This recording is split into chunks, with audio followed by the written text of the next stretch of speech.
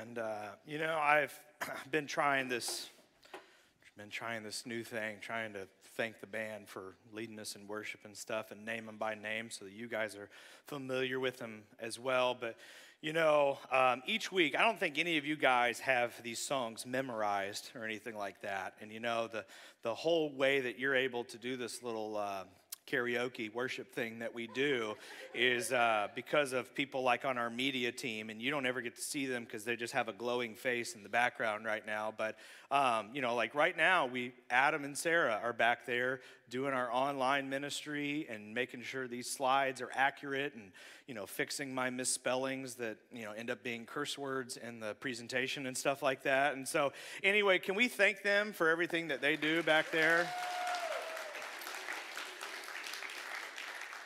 And to the, the, the, unsung hero, our little Viking, uh, Jason Riappel, for the sound. Um, he does a good job too, right? He's great. Um, and so you can thank him for the loud noises that go into your ears. But um, I'm going to pre warn you right now. Um, I had a sermon prepared for this because I as Ashley said, we were, we were gone all week. We left Monday. We got back late Friday night. And so I had a message prepared and I was diligent because I knew as soon as we got back, we would be preparing for mother son and all that.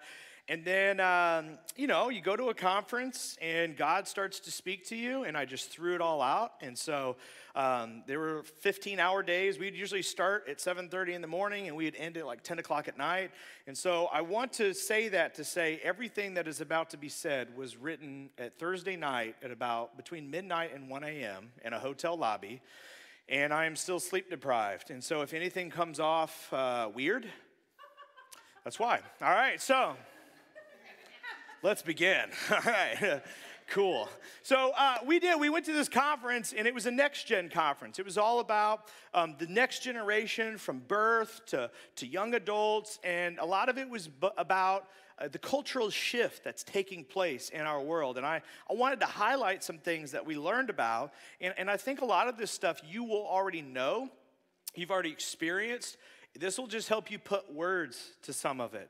And so here's a couple shifts that are, are happening in our culture and in our world, specifically in the United States. But we are going through a time of existential crisis. We no longer live in a modern world, we live in a postmodern world. Remember when we were in school in social studies, we would learn about the Renaissance era, you know, all of these different times where the culture would shift and the culture would change and the philosophy would change. You're, you're in the middle of that. You're in the middle of a page turn. And a new chapter is literally beginning. And it's happening with this generation, with your children's generation, with our generation, with your grandchildren's generation. And one of the things is um, technology. We are living in a hyper reality world where the world is no longer able to keep up with the world. Technology is literally obsolete by the time that it hits the shelves now.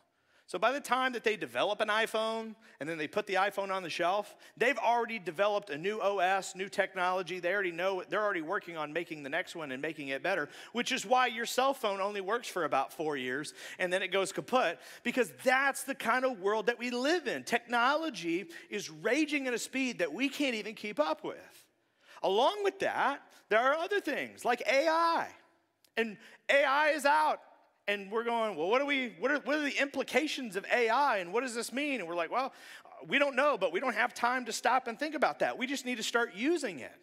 But there are questions that we should be asking. Like, should we? Is it useful? Is it helpful?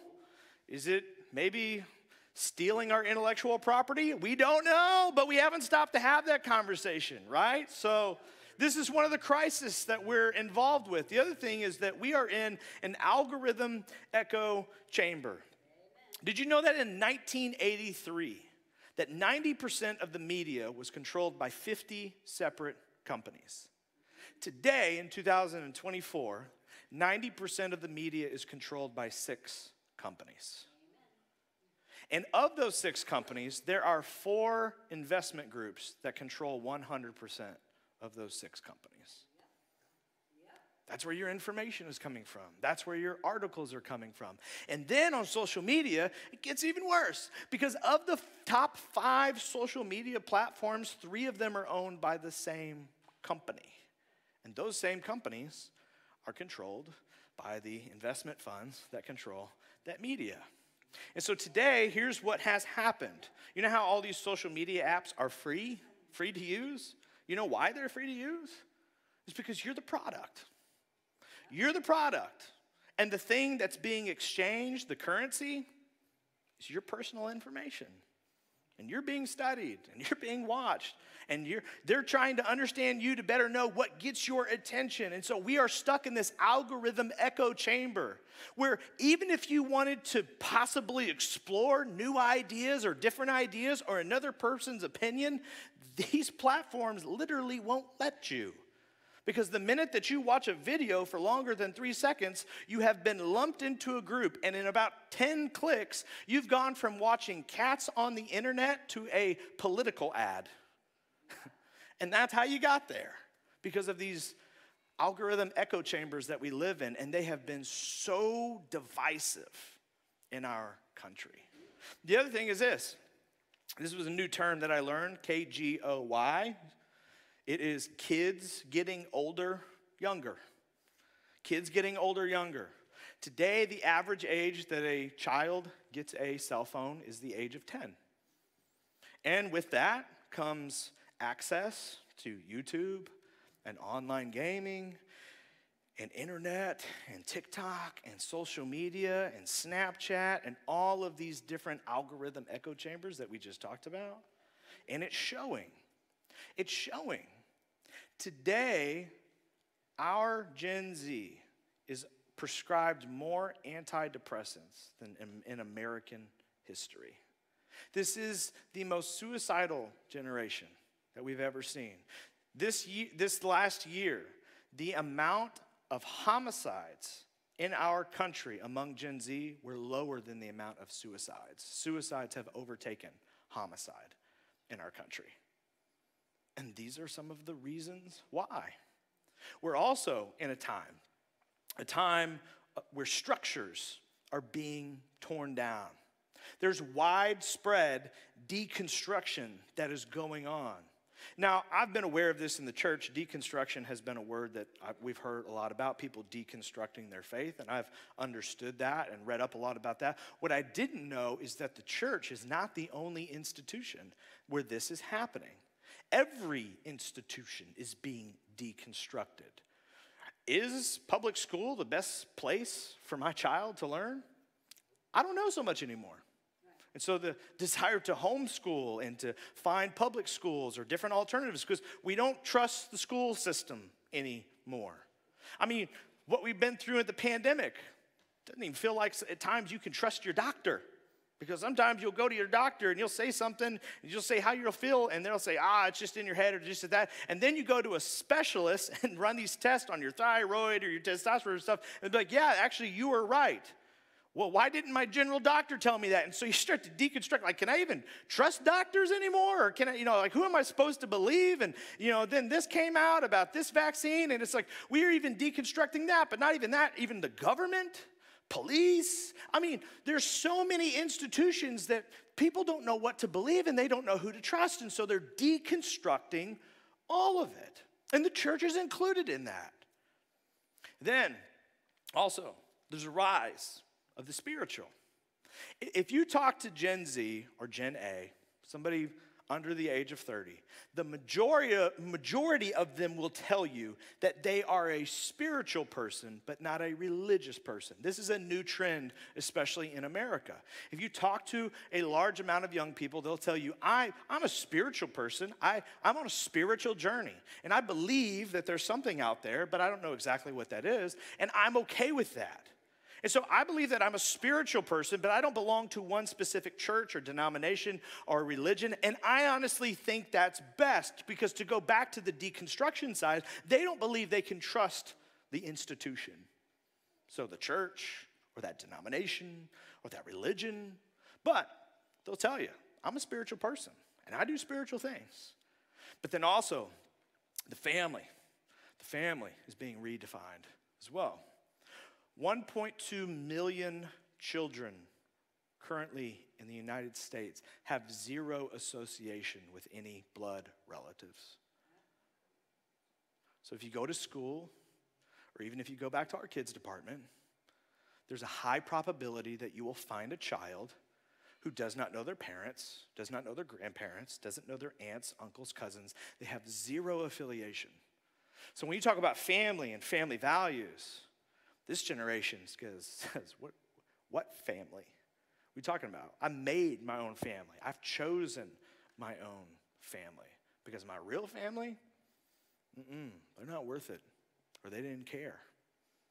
So we're going through a time where all of these structures and things that were supposed to make America great either are being torn down or don't exist. And we're going through a time, a time where we don't believe we can change things. And I'll be honest, when they said this, I felt this. I felt this. I'll be very honest and transparent with you. Like, as a millennial, I'm looking at November and I'm going, what's the point? You, got, you gave me one old guy who can't form a sentence and one old guy who has a whole nother bag of deals. So, like, this is my choices? Great. We've already lived this dance. So, fantastic. So, what's the point? Some of you have been through this, man. You have worked so hard. You've had dreams and aspirations. You've wanted to buy a house or, or, or, or, do something in your life or achieve something, but it just doesn't matter sometimes, does it? It just feels like it doesn't matter how hard you try or how much you save. They change the game, they change the rates, they change the rules, and it just feels like a game you can't ever win, doesn't it? And you go, what is the point? What, like, what's the point of even caring or even trying? Because I'm always going to get the short end of the stick.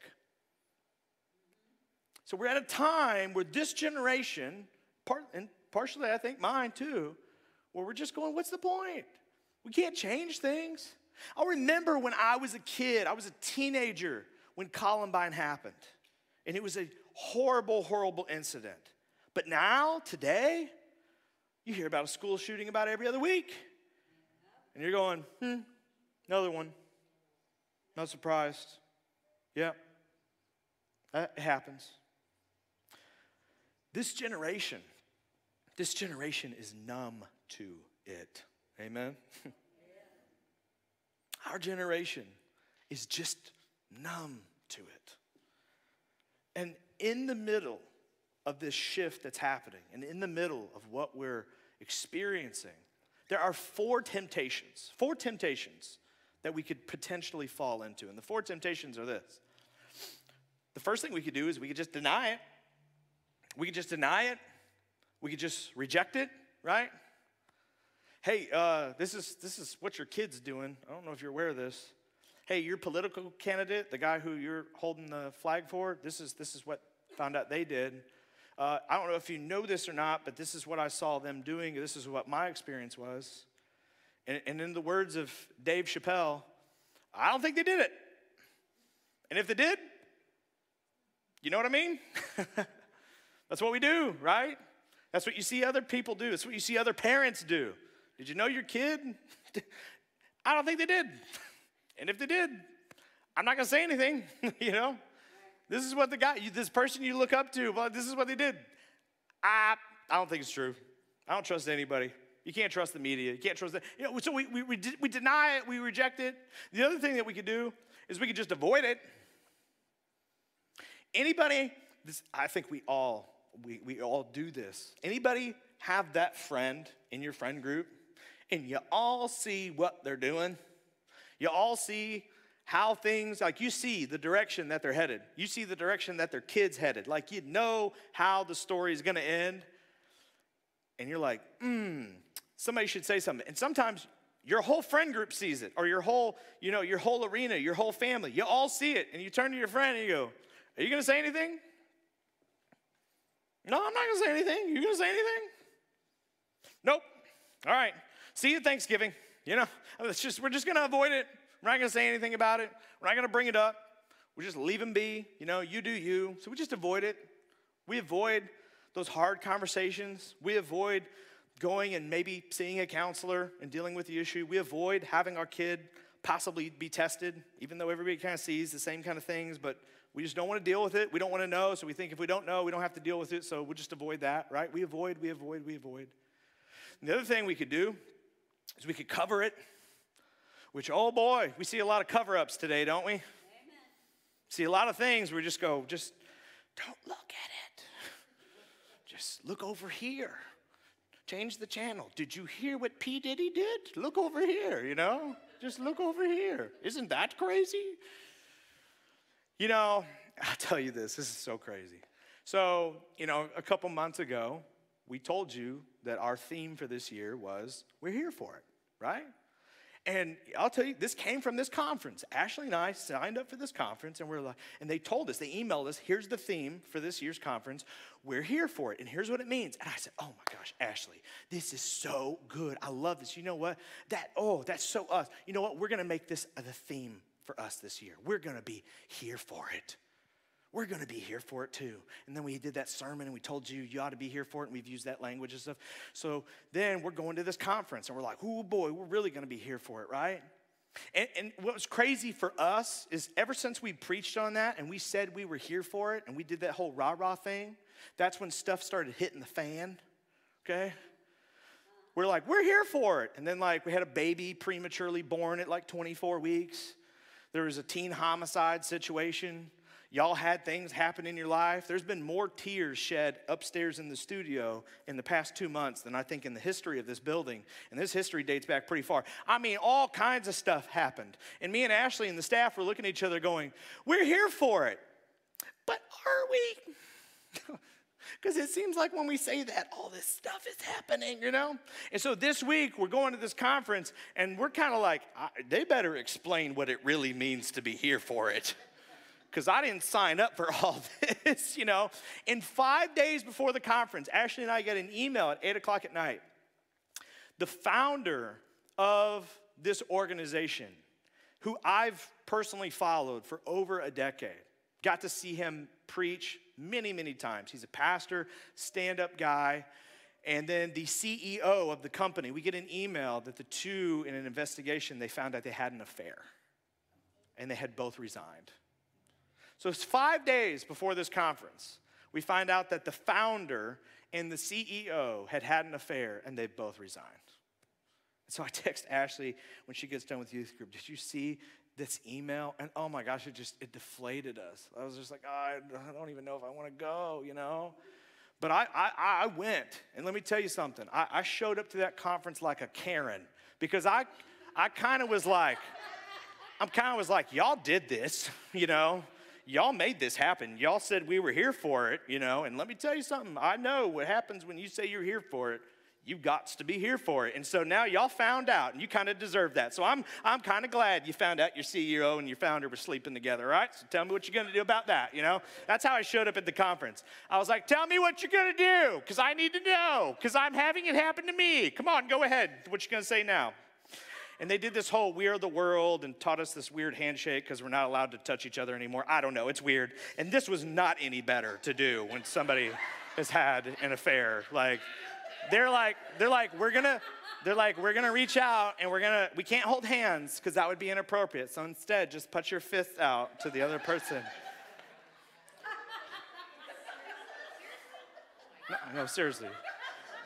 15,000 Christians doing, doing the shake weight to each other while we pray.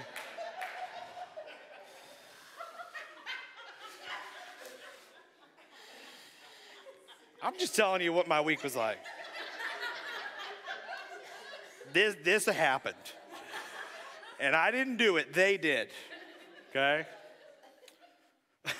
but they did. They addressed it, they talked about it. And later on, they talked about covering up, right? And this was so good because I, I, I don't know, man, when I hear about exposures happening, it just, it kind of deflates me. I'm like, man, not another one, like another pastor or another politician or another person I looked up to. Like, oh my gosh. And it feels like darkness is winning when you hear that. But th- they said this, and this was so good. Listen to this. They said, the exposing of sin isn't darkness winning, it's the light winning. Don't you like that? It, it, it's, like, it's like God is going, uh uh-uh, uh you can't cover it up. because sin does not win. You cannot run from sin and you cannot hide sin. I thought that was really cool. The other thing you could do is you could run from it. You could just, I'm out, I'm done. I can't, I don't even, no, I'm not gonna do that. And so we could just, you could just run from it and not address the issue, just avoid it, just walk around it. These are all options. These are all things that as, as parents, as leaders, as coaches, as men and women, these are all things we're tempted to do. But God's invitation, God's invitation is for us to be here for it, to not run from it, to not avoid it, to not deny it or reject it or to cover it up, but to be here for it. And we talked about, when we talked about how we're here for it, we said this. We said, regardless of the drama, the loud noises, the early mornings, the late nights, the bad jokes, strange odors, hard questions, glitter, meltdowns, awkward conversations, Nerf wars, and all of the out of control situations, we said, say it with me, we are here for it. We said that. And then we got into the messy stuff called life. And it it can be hard. It is hard. The reality starts to set in, and we realize, wow, this is gonna be, this is gonna be more than I thought. And then we start to question, are we really here for it? Because I don't know if I have what it takes, and I'm a little scared, and I don't know how it's gonna work out, and the amount of sacrifice it's gonna require of me. I don't know. It's easy to slap on a shirt. It's easy to say it's the theme of a conference. It's easy to say it's the, it's the theme for this year, but to really be here for it, what does it look like? There's a story of when Jesus was here for it. Peter was there. Peter saw all of this go down. He told it to one of his best buds, Mark, one of his ministry partners. He explained this to Mark, and Mark, he, he wrote it down, he dictated it. And so that's how it ends up in your gospel Matthew, Mark. Mark writes it down, and this is what Mark says it says, One day, one day, the evening came, and Jesus said to his disciples, Let us go over to the other side. And then this is what it says Leaving the crowd behind, they took him along just as he was in the boat, and there were also other boats with him. So let me explain what just happened. There was a large crowd. Jesus just had a great service. This is at the height of his popularity. And Jesus just had a fantastic um, sermon, lesson and there's, when it says in the Bible that there was a crowd, that means there were more people than they could count. So we're thinking there's a huge, huge crowd. And so they, they have this ginormous crowd. And I mean, think about this. This just, they just had a great service. I mean, everybody is like, great sermon, Jesus. You know, this is awesome. This is great. And just in the middle of this awesome ending of service, Jesus looks at the 12 disciples and goes, Get in the boat. Get in the boat. We're going to the other side. Come on. And they're going, what? Like, look, there's people here. There's a ton of people. Like this is this is kind of like a party, you know. We just had a great, you know. They're playing that pre-service, post-service music, you know what I mean? And they're like, no, no, no. And Jesus is like, no, in the boat. We, we need to go have a conversation. I need to take you aside. Hmm. Why did Jesus do that? Why did Jesus do that? You know why? The reason Jesus did that is because those 12, he, each one of them mattered to Jesus. The crowd was great, the crowd was awesome. But at a personal level, at an individual level, each of them mattered to Jesus. And Jesus saw something that needed to be addressed in their life. And so he was here for it. And so he asked them to get on a boat and to step aside so they could have a little conversation. Let me tell you something, man. I was, uh, I was strongly convicted by this this week. Because I'll be honest with you, I, I don't like confrontations. One of my things with my self esteem is I, I don't like when people are mad at me. If you ever text me and say, we need to have a talk, I get nervous because I immediately think I go to the worst thing that could possibly happen, the worst thing you could possibly tell me. So I don't like that.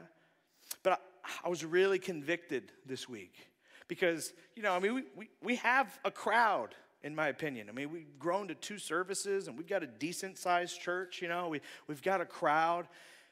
But as your pastor and as your friend, I, I try to be as individualistic as I can. And I feel like in each of your lives, I know a lot of what's going on in your life, either because you've told me or we've talked about it, or quite honestly, you put most of your life on Facebook, so it's not hard to keep up with, you know?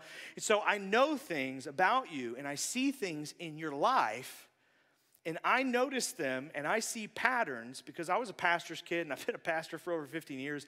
And there are certain patterns and things I see in your life where I know how this ends. I, I know what you're doing, where it's gonna go. And I, I, I, I sometimes I struggle because I'm like, should I say something?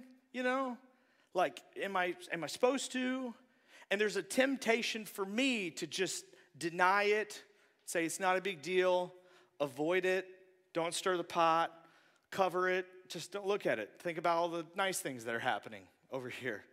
Or, or just run from it and just avoid you and avoid what I see you doing. But can I be really honest with you how I was convicted this week? God really told me that, that if I love you like I say I do, some of you, I need to ask you to step aside and get in the boat with me, and you and me need to go have a conversation. If I love you, truly love you, it's time for some of y'all, I need to talk to you about what I see in your life.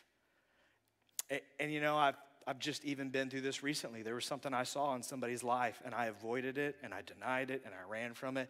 And here's the thing it ended in the same place. We just put it off for like seven months. I knew where it was going and I saw all the signs. Several of us in our friend group saw what you were going through and what, where, where it was going. And we just decided not to say anything about it. I decided, as the pastor and as the friend, to not say anything about it. And it ended up in the same place anyway. And I feel like it's time for me to put some of y'all in the boat and we need to go talk.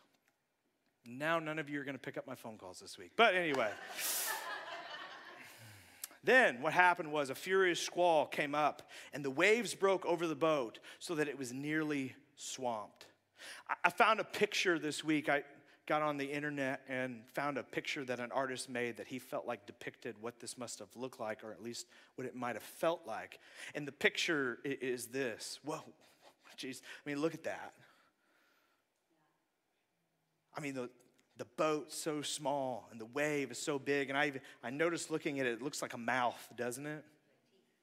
Yeah, it's got teeth. Looks dangerous, right? Let, me ask you something.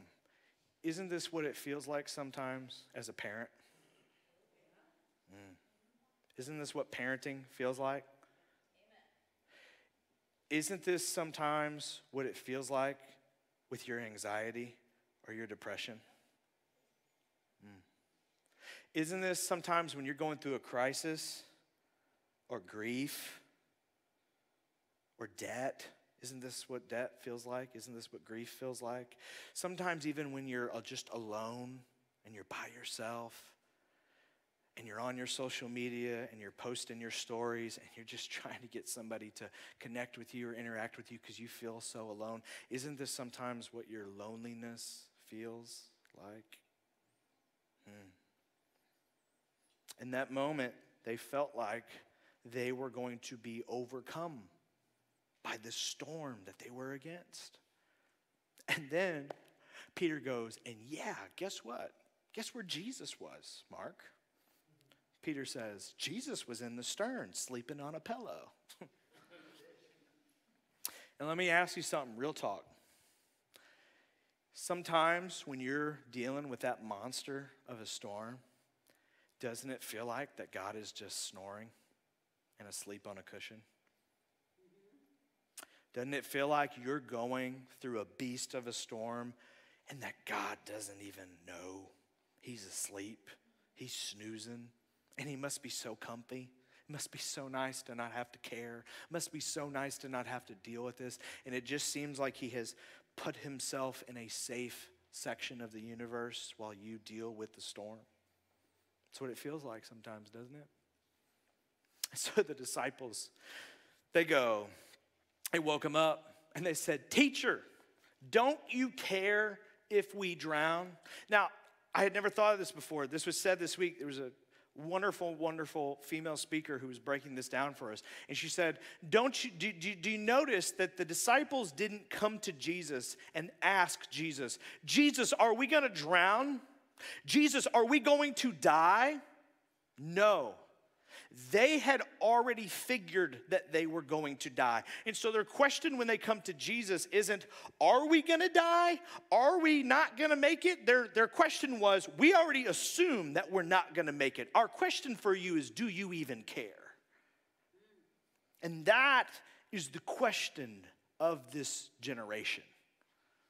They've already assumed that they're not going to make it. They've already assumed that their end is near. Their question is Does Jesus even care? Hmm. And so Jesus says he got up, he rebuked the wind, and he said to the waves, Quiet, be still. And then the wind died down, and it was completely can you just imagine for a minute? I've, I've been in storms. We've had some storms lately. They're so loud, right? They're so, so loud. And then there comes a moments where just when it's really, really loud, you ever, you ever been in a situation or a storm or a situation where everything was loud and then everything just went quiet?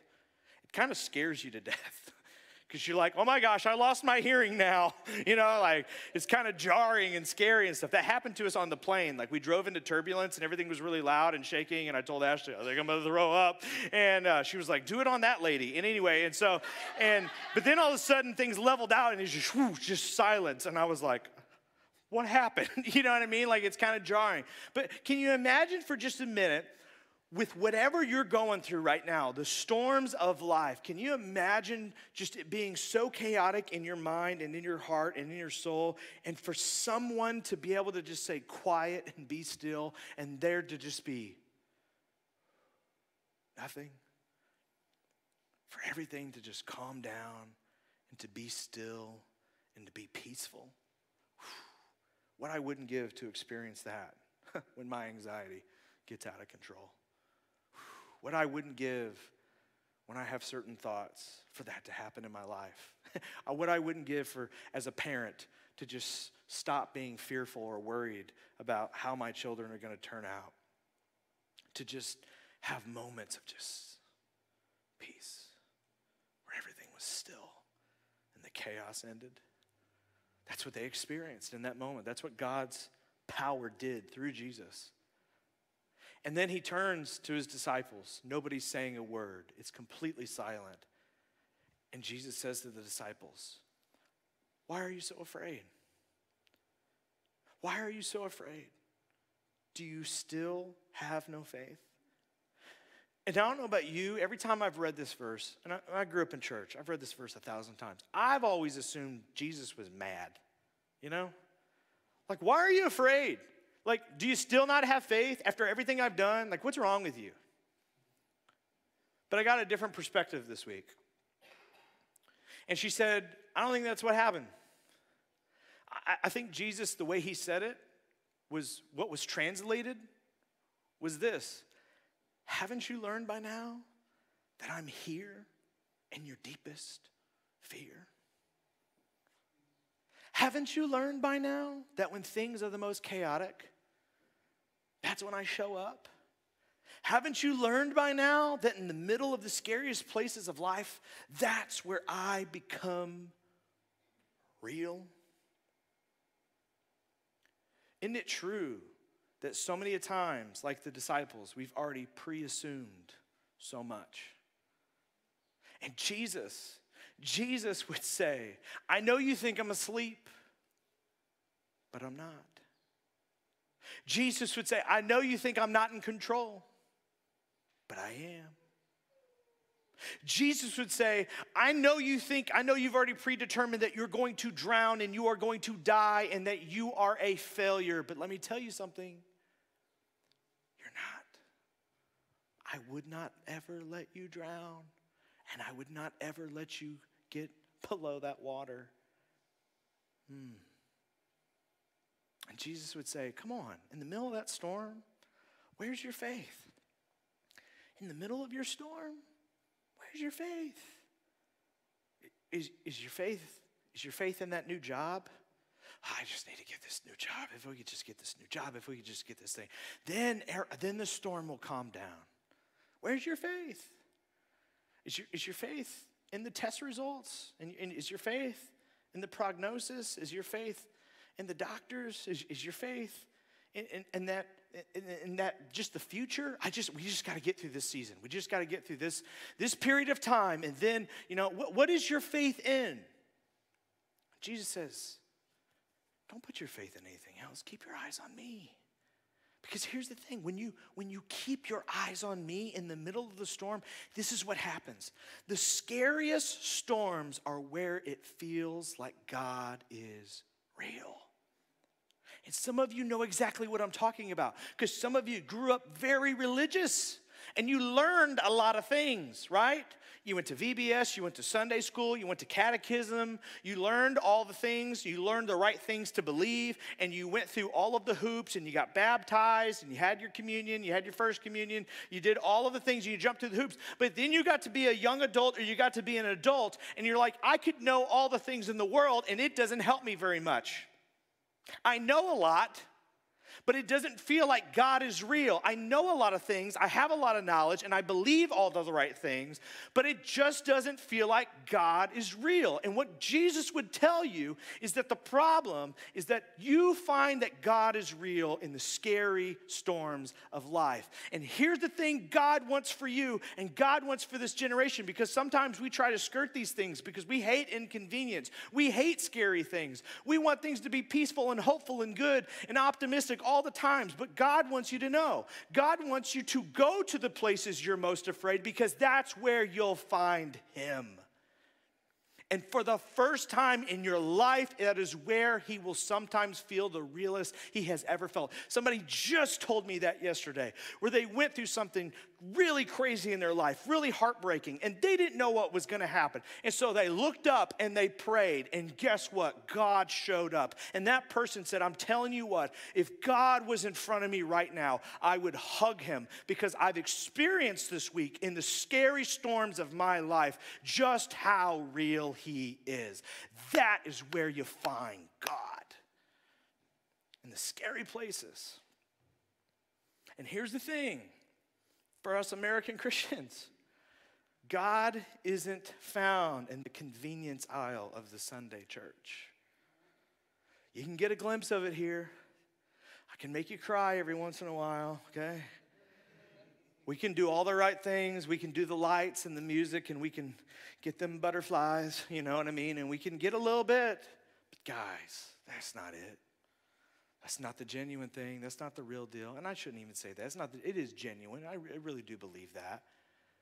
But I'm telling you the real thing. I'm telling you where you feel like God is your Savior, God is your King, God is real, and if He were in front of you, you could hug Him. Do you know where that is? God is realized in the trenches, in battle, and in the middle of the storm. And He wants you to go to the scary places. And guess what? There's plenty of scary places to go to in this world right now. And we want to go to those scary places. We're here for it. And we're here for it in the same way that God was here for it, in the middle, in the same way that God took those men aside and let that storm occur, knowing that that storm would happen if they got on the boat. He let it happen because it was an opportunity in the middle of the storm for them to find Him. God wants us to go to those scary places. He wants us to get into the trenches. He wants us to go into battle for this next generation, for your families, for your legacy, for your soul. And He wants us to go there and be there for it. So let me ask you a question. So, who's ready to go to war? Because that's what we're doing. We're going to war. We're going to war for this next generation because we're not going to lose them to the world. We're not going to lose them to the enemy. We're going to war for them and we're going to war for ourselves. And we've done that in many ways. And here's just a little snapshot of what we've done just in this last year. We have, through our mobile food market, we have fed 1,696 families, 2,478 kids, and 3,192 adults. You can clap now if you want. Last service, they didn't know what to do, you know? So I, I had to tell Jason, cue the laugh track, and he, you know, did it. So we just, we played a recording. But we're on live stream now, so you guys really need to like perform, okay? Anyway. My dad's watching right now, so he texted me. Um, this is something that we didn't have before the pandemic. This is something when our church shut down and we couldn't meet together. This is something that we created and we kept because we decided we were going to take lemons and we were going to make some lemonade. And it's pretty good lemonade. But also, something else we didn't have was an online ministry. And let me tell you about what happens online. Right now, people who are watching right now, Derek's doing the cameras and Sarah is, is running our feed. This last year, we have had 16,340 views. There have been 1,210.7 hours of our content watched, and our viewership is up 157% just in the last year. That's how impactful our online ministry is. It's not just reaching Lincoln County, Warren County, St. Charles County. It's going much further than that. And for some of you, this was your even your introduction to us, right? Just watching those little clips and or watching a sermon or listening to our podcast. That's that's part of our ministry and how we're impacting the world. Man, it gets even better than that. We also, this last year, we gave away $20,000 to local nonprofits, $9,000 to mission work outside the U.S., $20,000 to the Affordable Christmas Shop, $11,000 to support local churches in Missouri in need, $3,622 in college scholarships, $2,000 in local school supplies. You can clap again, yeah.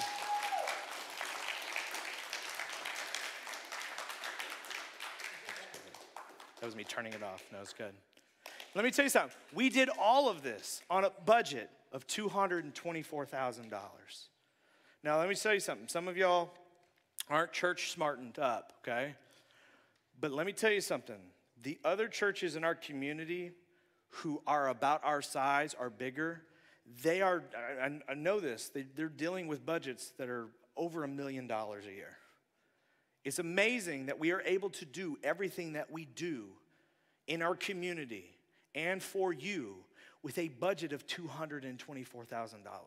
We are loaves and fishes, man. Like we take a little and we can sure do a whole lot. That is an amazing, amazing accomplishment.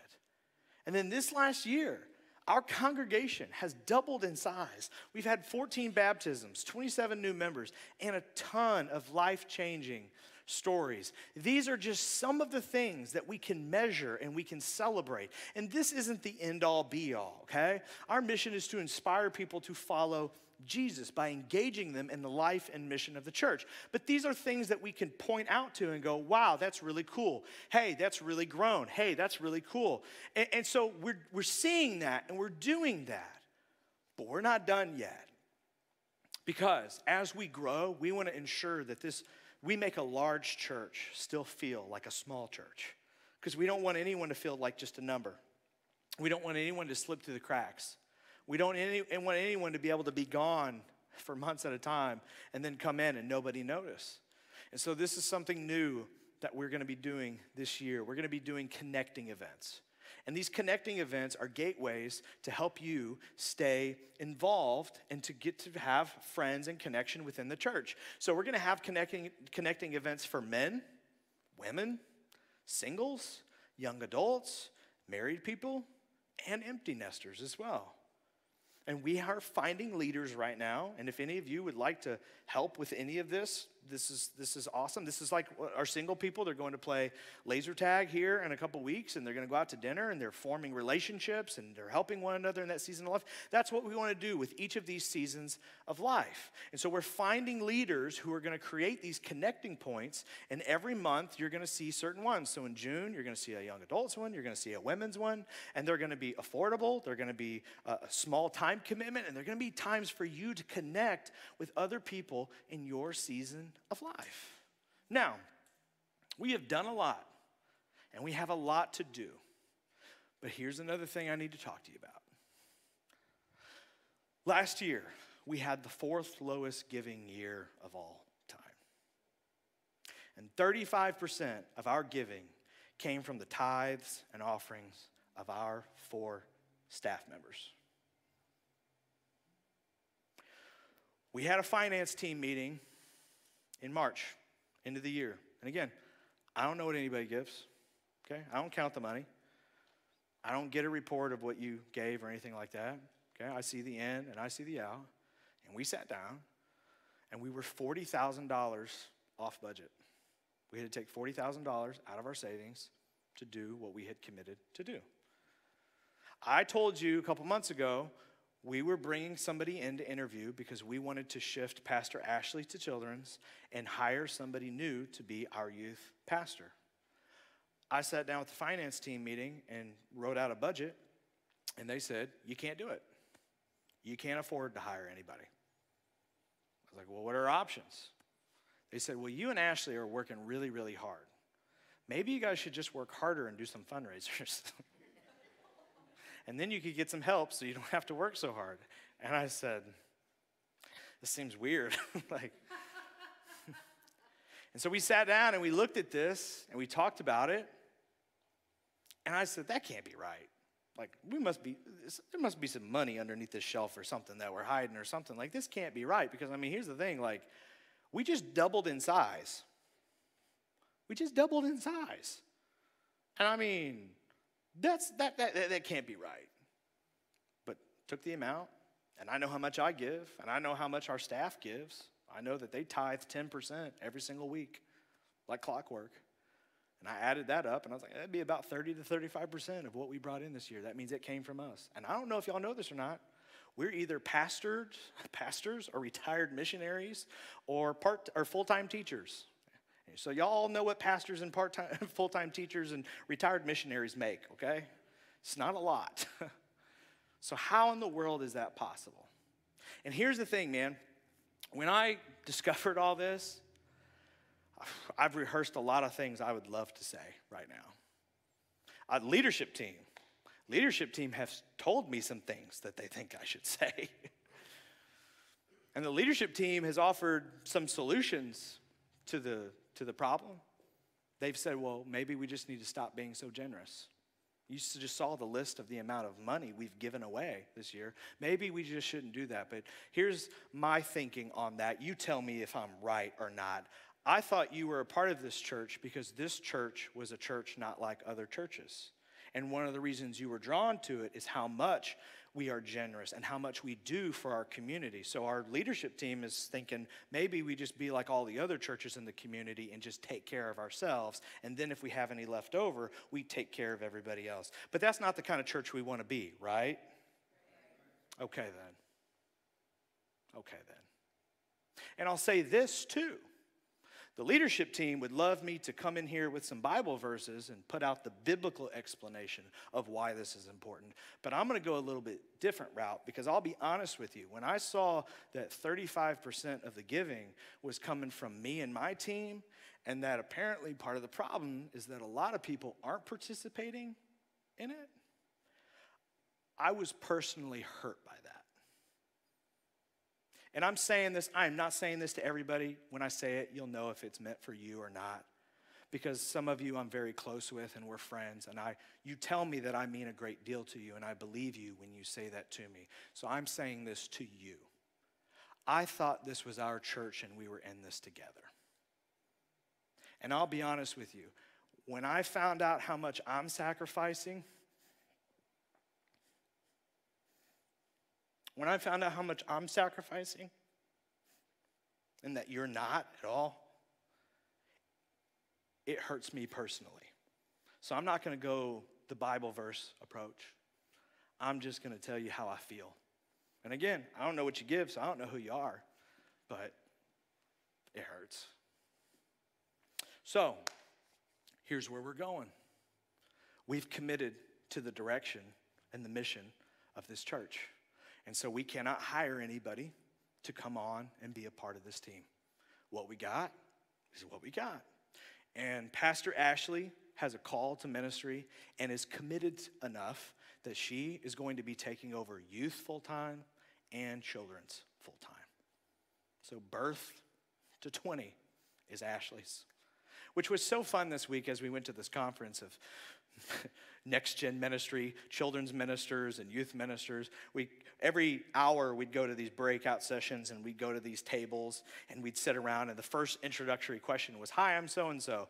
I look over this age group. And so it was like, Hi, I'm so and so. I look over middle schoolers. Hey, I'm so and so. I look over uh, toddlers. And they like turn to Ashley and they're like, Hi, what's your name? And Ashley's like, Hi, I'm Ashley. If they're under the age of 30, that's my job. And everybody was like, oh my gosh, you poor girl. Who did that to you? And I was like, hi, I'm Mike. Great for my soul this week. Made me feel so good. Uh, but that's where we are. And I applaud. I applaud Ashley for her commitment to our mission and for her commitment to your teens and your kids.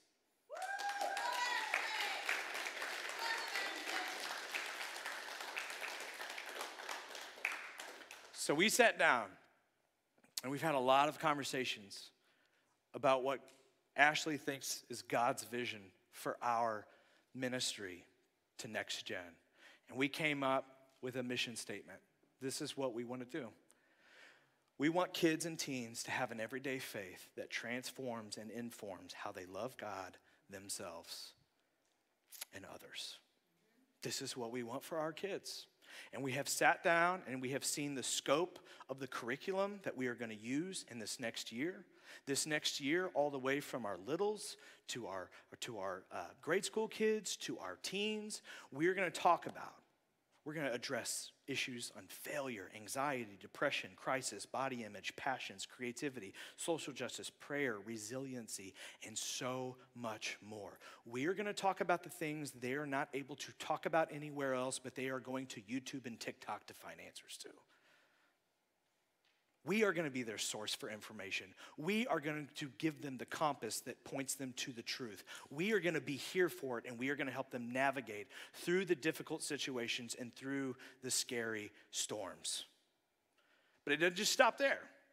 We're also going to have quarterly events that are family experiences. And the first one is going to be on July 27th. It's going to be called Summer Jam. And it is going to be an event for kids and parents where you don't drop off your kid. This ain't VBS. We ain't a Christian daycare around here. You are going to come with your kids, and it is going to be a family experience where you're going to get to listen to music and play games and create things together and have create memories with one another that is going to last and take your family through the next steps of your faith journey to make all this possible, what Ashley wants to do is she wants to give our kids the same quality as what you get in here.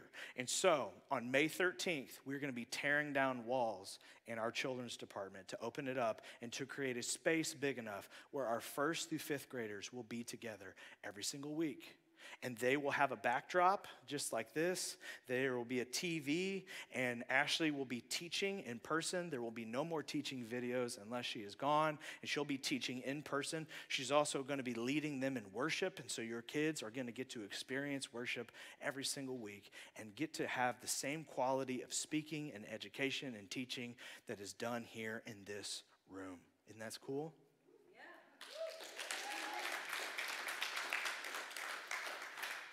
There's a lot of other stuff we're going to do too.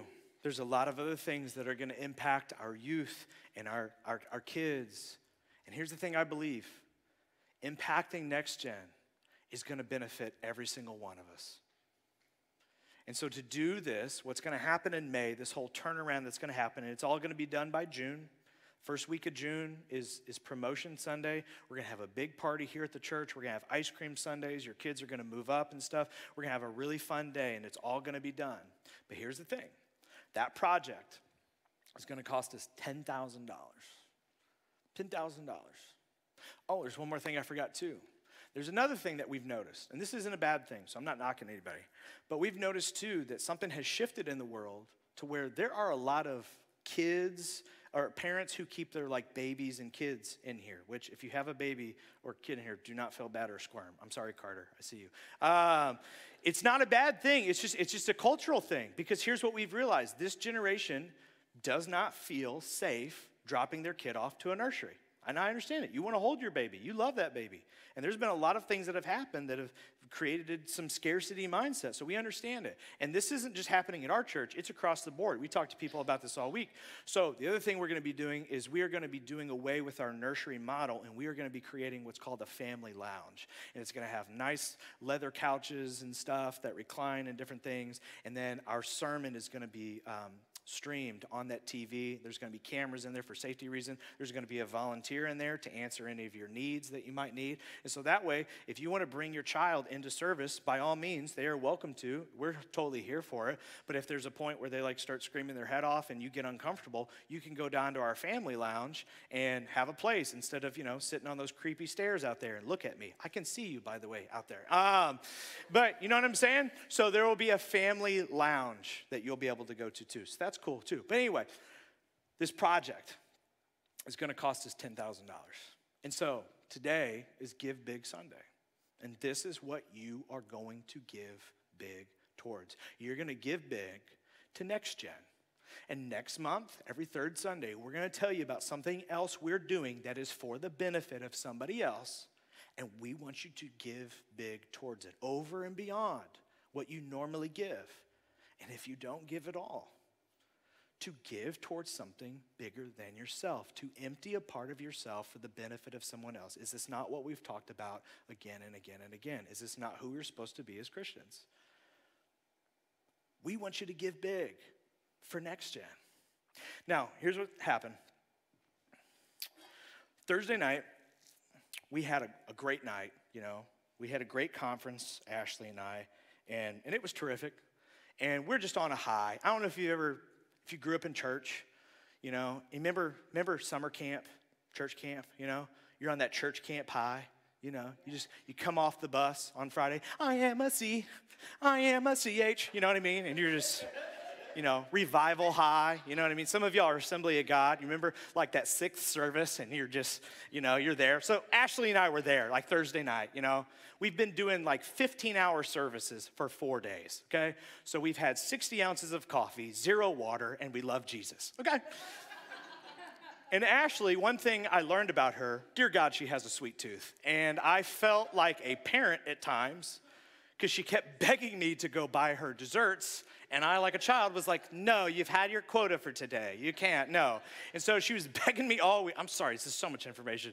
Uh, she was begging me all week to get a chocolate milkshake. And I was like, no, we had crepes this morning, woman. What is your problem? So, anyway, um, I talked to her mother about it last night. It's the whole thing. So, anyway, I told her Thursday night, I will take you to go get a stupid chocolate milkshake. And um, man, there was this terrible mix up at the car place. Like, we had to rent a car, and there was this terrible mix up. They put us in a Dodge Challenger. I've never felt so cool in my life. my tattoos meant so much. You know, I'm driving around Atlanta in a black Dodge Challenger. It just, I have problems now. Anyway, so we're driving around Atlanta, and I told Ashley I'll get you a chocolate milkshake. And so we, we, I told her, I said, I'm going to drive you to one of my favorite places. And I drove her to my, my favorite church, North Point Church, that just means so much to me. So I got her a chocolate milkshake. We're driving this Dodge Challenger, you know, it's beautiful weather and stuff. And I take her, and this, this is the picture we took. Um, they have this mural outside of their building that says, Give, Serve, Love. And so there's Ashley. She, she does this rock and roll thing, but she has this bad habit of turning her hand like this. And so it looks like she's flipping you the bird. She's not. She, she does it a lot. She just needs to turn her stupid wrist this direction. But it looks like she's like, you know, and it's like, after the week we had of all this stuff, I was like, whatever, you know. But anyway, so then we, we go back. We, we always, it, it, everything ended late, and then we'd go to the hotel lobby and work. And so I'm literally, I'm working on this message that I'm sharing with you now, and it's, it's late, okay? And I get a DM I get a TM, and, and this is what the DM said. This is from one of our teenagers in our church. I'm really sorry for coming out of the blue, and I don't know what to do anymore. People at school are mean to me for stuff I didn't do, and I have nobody anymore. I walk by myself every day, and what breaks my heart is that I can't seem to make everybody happy. I feel worthless. I have no clue what to do anymore. I'm all by myself, and I'm tired of putting a fake face on. I can't even bring myself to smile at all. I feel so invisible, and I am praying every night. I went from being on a high to feeling very low. My hands started to shake. I had to put it on the table. And I understood in that moment that when we go home, we're going to war. It's all fun and games, and it's good stuff. But when we get home, we are going to war. And this is day one. This is day one. There is a war and there is a battle going on. And it's not a battle that can be won with a revival or a prayer meeting or a VBS. This war has to be fought different. And this war has to be fought different than any other war that the church has ever fought. But here's one thing I'm confident about we have the strategy to win. We know what needs to be done. God has given us the vision for it, and we are going to do it, and we are going to be overcomers. One of the great quotes that I heard this week, this is so good. This was shared on stage. He said this He said, What the next generation needs is not so much for you to hurl your wisdom at them from a distance, but to catch their tears up close. When you walk into a community, look at the eyes and look at the floors. And this is what he said next. A place acquainted with the Lord is a place where tears flow freely, but the floors stay dry because everyone has a shoulder to cry that cooks, doesn't it? You know what? That's the kind of church I want us to be. I want this to be a church where we break down the walls and we break down the barriers, and your tears can flow freely, but they will not touch the floor because you will have somebody who is here for it.